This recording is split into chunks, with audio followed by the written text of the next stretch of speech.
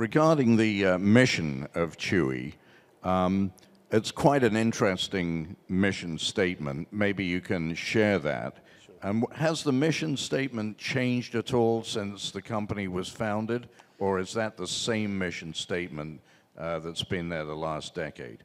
Yeah, no, it, it, has, it has changed. Uh, had you come to Chewy four or five years ago, you would have read a mission statement, we are working to become the largest pet retailer in the world.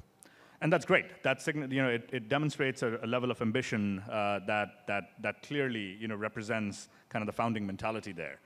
But if you, if you just observe the mission statement, we're working to become the largest pet retailer in the world, it's an output statement. It doesn't consider the inputs, it doesn't consider uh, customers. And Chewy is fundamentally customer centric. Customer orientation is embedded inside our DNA. And so we took a look at the mission statement and I said, well, for such a customer centric company, I think we should have a, a, a, mission purpose statement that orients ourselves accordingly.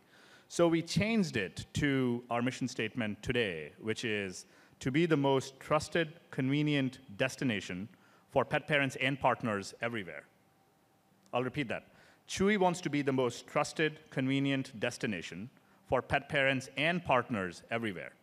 It's really three things that I want you to focus on in this mission statement. Trusted and convenient, because as we've been talking about, you know, engendering customer trust, uh, trust and keeping and, and engendering loyalty and keeping that trust is the backbone of what drives us to acquire more customers and sell more products.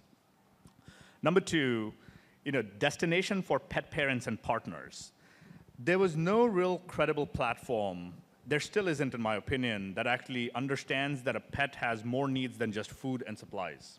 There's healthcare needs, there are non-healthcare services. So in, in, a, in a pet's life cycle, to be able to create a destination where pet parents can actually devote their mind share in their busy lives to be able to interact with the platform that brings everything together is a compelling concept.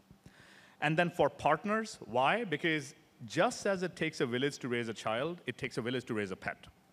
I mean, if you have a pet, you know this. You need the, the, the shelter, the rescue, the, the breeders, the dog park friend, the veterinarian, the breeder, the groomer. I mean, you name it. There's a whole community that services pet. And we said to ourselves, you know, in addition to standing up for the end customer, we will have something to say about the community that services pet. And so that's why the word partners is in there. Mm.